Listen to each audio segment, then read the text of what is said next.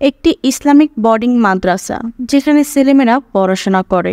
এটা ইন্দোনেশিয়ার মেকারঙ্গ নামক একটি অদ্ভুত গ্রাম। এই গ্রামের ভিতরে এক পরিবার আর্থিকভাবে অভাব অনটনে পড়ে এবং খুবই সমস্যায় পড়ে যায়। এজন্য সে পরিবারের পিতা ঋণে জর্জরিত হয়ে পড়ে এবং আত্মহত্যা করেন। কিন্তু তার মেয়ে হঠাৎ করে অনেক টাকা উপার্জন করতে শুরু করে। তবে তার কিছুদিন পরেই মেয়েটি অদ্ভুত এক খারাপ শক্তির প্রভাবে ঘরবন্দি হয়ে যায়। মানে তার অদ্ভুত একটা রোগ হয়, যার কোনো চিকিৎসা পৃথিবীতে নেই। গ্রামবাসীরা সন্ধ্যা হলে এক অদ্ভুত ভয়ঙ্কর আওয়াজ শুনতে পেত এই মেয়েটির ঘর থেকে। একদমই ভীতিকর এবং চাঞ্চল্যকর সাসপেন্স গল্পটা। এই মুভির গল্পটা আপনাকে এক অদ্ভুত অনুভূতি দিয়ে যাবে।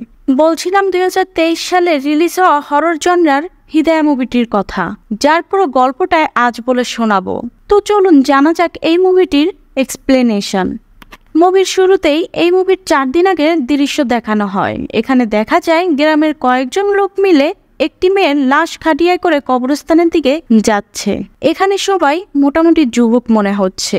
গ্রামের বাকি লোকেরা এই লাশ কবর দিতে ইচ্ছুক নয়। এর কিছু সময় পরেই তাদের মধ্য থেকে একজন কবরে নামে এবং মেয়েটির লাশ দাফন করতে শুরু করে। কিন্তু তখনই বৃষ্টি পড়তে শুরু করে। আর দেখা যায় কবরে কাদামাটি হয়ে পড়ে মানে কাদায় জলচিহ্ন হয়ে পড়ে ব্যাপারটা। এই বিষয়টা কিন্তু অশুভ এবং ভীতিকর বলে মনে হচ্ছে সবার। কিন্তু এভাবেই কোনো মতে লাশটাকে দাফন করে চলে আসে সবাই। এর পরের দৃশ্যে অদ্ভুত একটা ঘটনা ঘটে। রাতের দিকে সে কবর থেকে একটি হাত বেরিয়ে আসে। আসলে মেয়েটির লাশের সাথে এক মর্মাহত ঘটনা ঘটতে চলেছে। এভাবে কাহিনী বর্তমানে চলে আসে।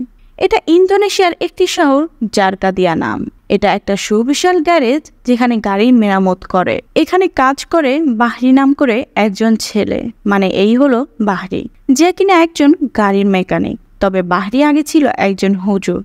মানে সে মাদ্রাসায় পড়ত। সেখানকার সবচেয়ে মেধাবী এবং আমলালা ছাত্র ছিল বাহারি সে বিভিন্ন চিকিৎসা করত, যেমন জিনে ধরা এই ধরনের রুকিয়া কাজগুলো সে করত মানে ছাড়ফু। তখনই সেখানে বাহরির গ্রামের একজন পুরনো বন্ধুকে দেখা যায়। এই লোকটির নাম হলো হাসান। হাসান জানায়, বহুদিন পর তোমাকে দেখে ভালো লাগল। এখানে হাসানের গাড়িতে একটু সমস্যা হয়েছে, যেটা বাহরি ঠিক করে দিবে। এবং হাসানের সাথে গল্প করতে বসে। হাসান জানায়, আমি এসেছি তোমাকে গ্রামে ফিরিয়ে নিতে। সেখানে তোমাকে খুব দরকার। আসলে সেখানকার পরিস্থিতি খুবই ভীতিকর। বাহারি জানতে চায়, গ্রামে কি হয়েছে?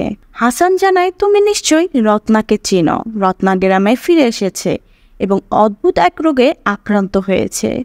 মনে হচ্ছে এটা কোনো জিনের বা অদৃশ্য শক্তির প্রভাব। রত্নার জন্য পুরো গ্রামবাসী ভয়ে আছে। আসলে রত্না ছিল বাহারির খুবই পছন্দের মানুষ। যখন বাহারি মেঘরঙ্গ গ্রামে বোর্ডিং মাদ্রাসায় পড়াশোনা করত, তখন তাদের মধ্যে একটা সম্পর্ক ছিল। তখনই রত্নাকে দেখানো হয়। এই হলো অসুস্থ রত্না। তাকে দেখে বোঝা যাচ্ছে ভীষণ কষ্টে পার হচ্ছে তার জীবন। তার ভিতরে অদ্ভুত কিছুর আনাগোনা। এবং দেখা যায় রত্নার গা যেন পচে যাচ্ছে। কেমন যেন বিকৃত হয়ে যাচ্ছে তার পুরো শরীর। এখানে এতক্ষণে হাসানের গাড়িও সার্ভিসিং করা শেষ এবং সে এখন গ্রামে ফিরে যাবে। কিন্তু যাওয়ার আগে সে বাহারিকে অনুরোধ করে জানায় সে যেন গ্রামে ফিরে আসে এবং তার সাধ্যমতো চেষ্টা করে রত্নাকে ভালো করতে। আগেই বলেছিলাম, বাহারি কিন্তু খুবই ধার্মিক এবং ঝাড়বক চিকিৎসায় খুবই ওস্তাদ ছিল। আসলে কয়েক বছর আগে যখন বাহিনী মিকারঙ্গ গ্রামে পড়াশোনা করত, তখন একটা রোগীর রুকিয়া বা ঝাড়ফুঁক করতে গিয়ে সে রোগীটি মারা গিয়েছিল। এর জন্য জেলে বন্দি হয়ে থাকতে হয়েছিল বাহারির মানে দোষ হয়েছিল বাহারি নাকি সে রোগীকে মেরে ফেলেছিল। তবে জেল থেকে ছাড়া পেয়ে বাহারি লজ্জায় আর গ্রামে ফিরে যায়নি। এখানে শহরে একটি গাড়ির গ্যারেজে কাজ করে। তারপর হাসান তাকে খুঁজে বের করে আর রত্নার চিকিৎসার জন্য তাকে গ্রামে আসতে বলে। কারণ সে তো জানে বাহারির ভিতরের ক্ষমতা। এরপর হাসান চলে যায়। রাতে বাহারি কাজ শেষ করে গ্যারেজে ঘুমিয়ে পড়ে। ঘুমানোর বেশ কিছু সময় পর বাহারি স্বপ্নে দেখতে পায় তার মুখের একেবারে নিকটে ঝুলে আছে একটা জরাজীর্ণ দেহ। মনে হচ্ছে এটা কারোর লাশ। চোখ খুলতে তা যেন অদৃশ্য হয়ে যায়। তখনই বাহারি আবার শুনতে পায়, কোনো একটি মেয়ের কান্নার আর্তনাদ। বাহারি ঘর থেকে বের হয়, এই কান্নার শব্দ ভেসে আসছিল বাইরে রাখা গাড়ির মধ্য থেকে। বাহারি সেদিকে যায় বিষয়টা দেখতে। সে দেখতে পায়, ভাঙাচোরা গাড়ির ভেতর একটা মেয়ে বসে আছে। তার গলায় শিকল বাঁধা রয়েছে আর তার তৃপ্ত আর্তনাদ। মেয়েটি বলছে, আমাকে সাহায্য করো বাহরি খুবই অদ্ভুত এবং হৃদয় স্পর্শকাতর আর্তনাদ। আসলে বাহরি দেখল, এটা তো রত্না। যার কথা আজি হাসান বলে গেল। বাহরি এবার বসতে পারে রত্নাকে গিয়ে তার দেখা উচিত। তখনই ব্যাগপত্র গুছিয়ে বাহরি তার গ্রামের উদ্দেশ্যে রওনা দেয়। গভীর রাত। কিন্তু বাহরির মন পড়ে আছে গ্রামের দিকে। বাসে করে যাচ্ছিল কিন্তু পথে দেখা যায় একটা গাড়ির দুর্ঘটনা। এই দুর্ঘটনাটি মনে রাখবেন। এভাবে সারাদিন সারা রাত জার্নি করে সন্ধ্যার দিকে বাহরি গ্রামে পৌঁছায়। আর এটাই হলো সেই অভিশপ্ত গ্রাম মেকারঙ্গ। গ্রামে এসে বাহরি হাসানের সাথে দেখা করে। হাসান তো খুবই খুশি হয় কারণ বাহরি তার কথা রেখেছে এবং রত্নাকে সাহায্য করতে রাজি হয়। হাসান এখানে জানায়, গ্রামবাসীরা ইদানিং অদ্ভুত আচরণ করছে। কারণ, গ্রামে রত্নার মতন একজন ভয়ঙ্কর রোগী রয়েছে। এজন্য গ্রামবাসীরা খুবই বিচলিত। এখান থেকে কথা শেষ করে বাহারি তার বোর্ডিং মাদ্রাসার দিকে রওনা করে। এই বৃদ্ধের নাম হলো আবাহ সবাই তাকে আবাহ বলে ডাকে। আবা কিন্তু বাহারিকে সবচেয়ে বেশি ভালোবাসত। এতদিন পর বাহারি ফিরে এসেছে। দেখা যায় আবা তার সাথে আগের মতোই আচরণ করে। সে যেন এখনও বাহারিকে প্রচণ্ড ভালোবাসে। আবাহ হলো এই বোর্ডিং মাদ্রাসার প্রিন্সিপাল বা ওস্তাদ। এখানে বাহারি জানায়, আমি মিথ্যা কারণে বছরের পর বছর জেলে বন্দি ছিলাম। আমার জেলে যাওয়ার খবর শুনে আমার মাও মারা গেছেন। জেল থেকে ছাড়া পেয়ে শহরে একটা গাড়ির গ্যারেজে কাজ করি, কিন্তু আজ হাসান আসে এবং আমাকে গ্রামের ব্যাপারে জানায়। এজন্যই তো গ্রামে এসেছি রত্নাকে সাহায্য করতে এবং বাকি গ্রামবাসীদের। এইসব কথা শুনে আবার খুবই খুশি হয়, কারণ আবার জানতো বাহারি খুবই পরহেজগার ছিল। তার রুকিয়াতে অনেক খারাপ অশুভ শক্তির পরাজয় হয়েছিল। এভাবেই কথা শেষ হয়। আবার জানাই তুমি এখনও তোমার রুমেই থাকতে পারো। ওটা এখনও খালি পড়ে আছে। এরপর বাহারি তার রুমে চলে যায়। ফ্ল্যাশব্যাগের দৃশ্যে আমরা দেখতে পাই বাহারি বোর্ডিং মাদ্রাসায় বসেছিল। তখন রত্না এসে তাকে একটি বই দিয়ে বলে, এটি একটি ভালো বই। এভাবে কথাবার্তা চলতে থাকে। বর্তমান দৃশ্যে আমরা দেখতে পাই যে আবা বাহারিকে ডেকে পাঠিয়েছে। আবার জানতে চায় বাহারি কি আগের মতোই নামাজ বা আমল করে কিনা এবং গ্রামে ফিরে আসার আসল কারণ কি। বাহারি জানায়, আমি ছোটবেলা থেকেই নামাজ পড়া বন্ধ করিনি এবং রত্নাকে সাহায্য করতে চাই, তাই গ্রামে ফিরে এসেছি। তার মানে বাহারি চাইলে আগের মতোই রুকিয়া বা ঝাড়ফুঁক করতে পারে।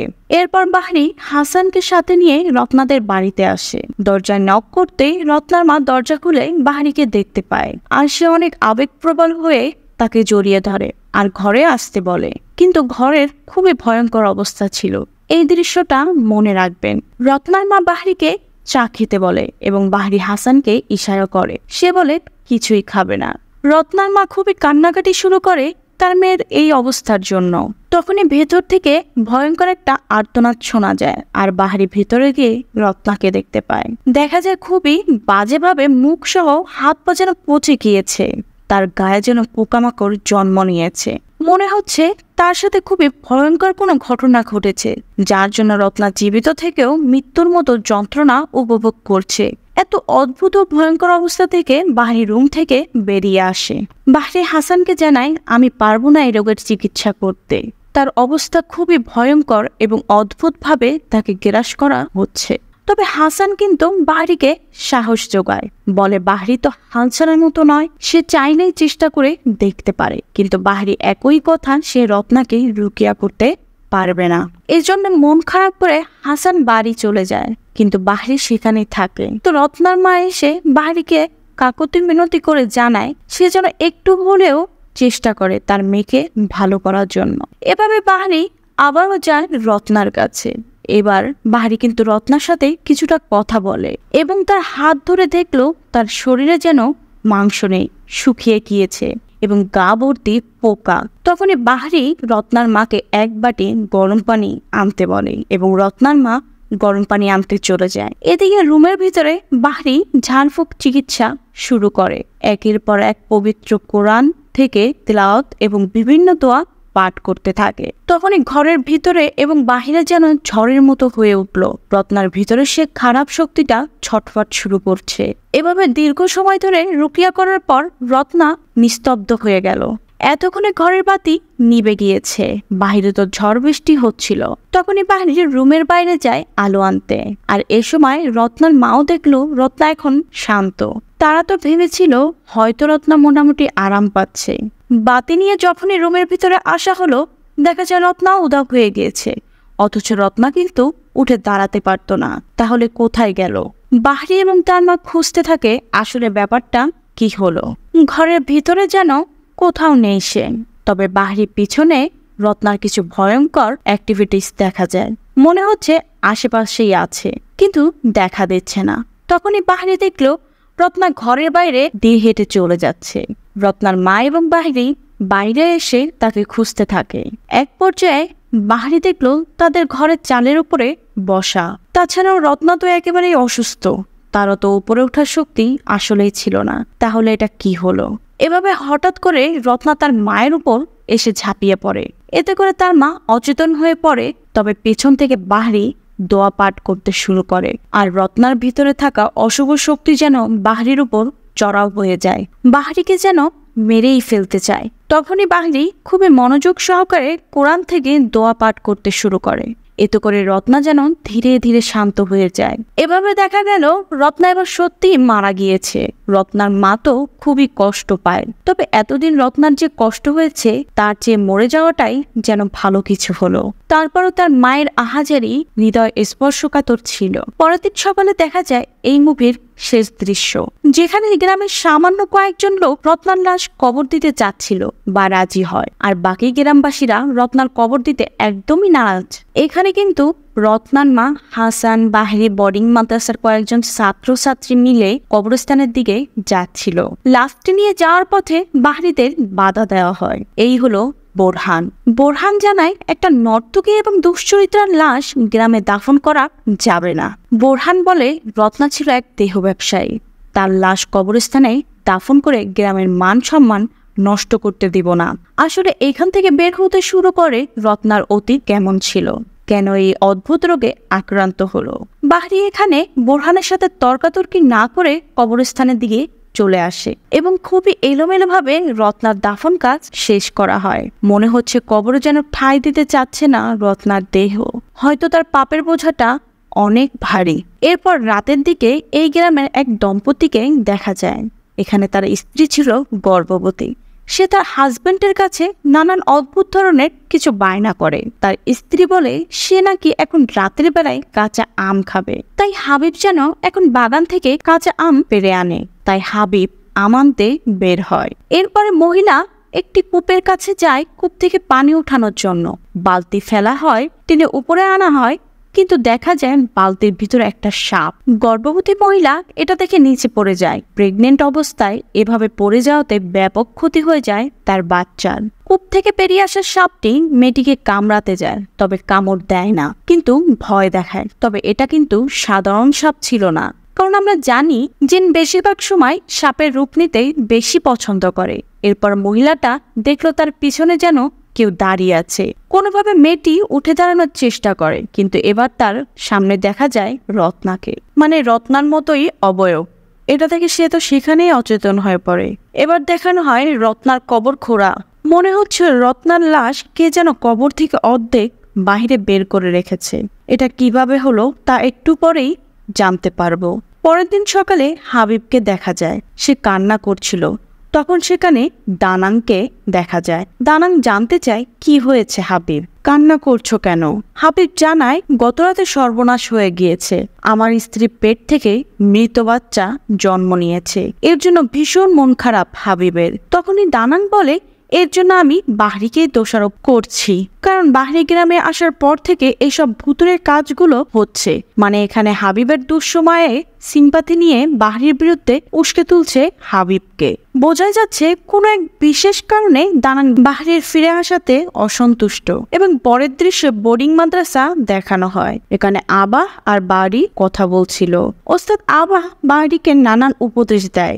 বলা হয়, তোমার মুখ দিয়ে কখনো দোয়া করবে না, মনে মনে করবে। এতে করে আল্লাহর প্রতি তোমার আমার বিশ্বাস আরও বাড়বে এবং মজবুত হবে। তখনই সেখানে হাসান দেখা করতে আসে বাহরির সাথে। বাহরি জানতে চায় আমি গ্রাম ছেড়ে যাওয়ার পর কি ঘটেছিল রত্নার সাথে। হাসান, সব বলে এবার। সে জানায়, বাহরি যখন গ্রাম ছেড়ে চলে যায়, তারপর থেকে রত্নার বাবা ঋণে ডুবেছিলেন আর অভাব অনটনে মরিয়া হয়ে তার বাবা আত্মহত্যা করেন। এরপর রত্না শহরে কোথাও চলে যায় এবং তারপর থেকে হঠাৎ করে গ্রামের মানুষের ঋণ পরিশোধ করতে শুরু করে। মানে প্রচুর টাকা ইনকাম করতে শুরু করে। মনে আছে, বোরহান যে বলেছিল, রত্না ছিল একজন দুশ্চরিত্রা, এখন কিন্তু বাহরিও ভয় পাচ্ছে। বোরহান যা বলেছিল, সেটা সত্য না হয়ে যায় আবার। রত্নার ব্যাপারে সব সত্য জানতে পেরে হাসান এবং বাহরি বোরহানের বাড়িতে চলে আসে। এখান থেকে বোরহান জানায়, রত্না শহরে একটা নাইট ক্লাবে কাজ করত। সেখানে আমিও চাকরি করতাম। রত্না সেখানে অবৈধ কাজ করত। তার উপার্জনের উৎস ছিল তার দেহ। মানে হারাম কাজে লিপ্ত হয়ে পড়েছিল রত্না। মানে বোরহান ও রত্নাকে ব্ল্যাকমেল করে রত্নার হারাম টাকার ভাগ নিত। এখন বাহরি পুরোপুরি ক্লিয়ার যে রত্না ছিল নর্তকী এবং পতিতা। এজন্য বাহরিও খুবই কষ্ট পায় এবং ধারণা করা হয় রত্না তার নিজের পাপের জন্য এত ভয়ঙ্কর রোগে আক্রান্ত এবং গ্রামকে সে অভিশপ্ত করে তুলেছিল। রত্নার ব্যাপারে এত জঘন্য কিছু জানার পর বাহারি সেখান থেকে চলে যায়। এরপর রাতে বোরহান বসেছিল ঘরে। তখনই তার স্ত্রী এসে জানায়, হাবিবের বাচ্চা মারা গেছে। মৃত অবস্থায় জন্ম নিয়েছিল। বোরহানের স্ত্রী ছিল একজন ডাক্তার। তখনই বোরহানের স্ত্রী ফ্রেশ হতে ভিতরে যায়। এরই মধ্যে তখনই বাহির থেকে বুরহানকে কে যেন ডাক দেয়। একটা মহিলা কণ্ঠে দুইবার ডাক দেওয়া হয়। বুরহান সেটা দেখতে বের হয়। কে ডাক দিল তাকে? এভাবে হাঁটতে হাঁটতে বাড়ির পিছনে জঙ্গলে ঢুকে পড়ে। এই নিশীতে এমন অদ্ভুতটা কতটা ভয়াবহ পরিস্থিতি হতে পারে সেটা অনুমান করলেই তো ভয় লোম দাঁড়িয়ে যায়। এভাবে এক পর্যায়ে জঙ্গলের ভিতরে রত্নাকে দেখা যায়। সে ছিল বোরহানের আশেপাশে। মনে হচ্ছে রত্না যেন আসলে অভিশপ্ত হয়ে গ্রামে ঘুরে বেড়াচ্ছে। বোরহানের সামনে হঠাৎই রত্না দাঁড়িয়ে পড়ে আর মুখ দিয়ে সাপ বেরিয়ে আসে। এটা দেখে বোরহান তো ভয়ে কাতর। এটা কি দেখল সে? এভাবে বোরহান দৌড়ে পালায় সেখান থেকে। তখনই আবার জঙ্গলের সেই রাস্তা দিয়ে দানাংকে আসতে দেখা যায়। দানাং দেখল বাইকের লুকিং গ্লাসে যেন রত্নাকে দেখা যায়। মোটামুটি ভয় পায় দানাং। তবে দানাংয়ের সাথে মারাত্মক রহস্য লুকিয়ে আছে, যেটা গল্পের শেষে রিভিল হবে। দানাং কিন্তু এখান থেকে চলে যায়। কিন্তু ওদিকে বোরহান তো ভীষণ ভয় পেয়ে রুমে বসেছিল। তখনই তার স্ত্রী কাছে আসে, একসাথে শুয়ে পড়ে। কিন্তু ঘটনা হলো, এটা তার স্ত্রী ছিল না। এটা তো রত্না মানে রত্নারূপে কোনো ডাইনি বোরহান তো এখন অসহায়। চরম অসহায়, ভয়ে কাতর। এদিকে বোরহানের স্ত্রী কিন্তু রান্না করছিল। রান্না শেষ করে মাত্র রুমে ঢুকে দেখতে পেল বোরহান ঝুলে আছে। মানে বোরহান মারা গেল কোনো অভিশপ্ত খারাপ শক্তিতে ভূষিত হয়ে সে আত্মহত্যা করে নিয়েছে।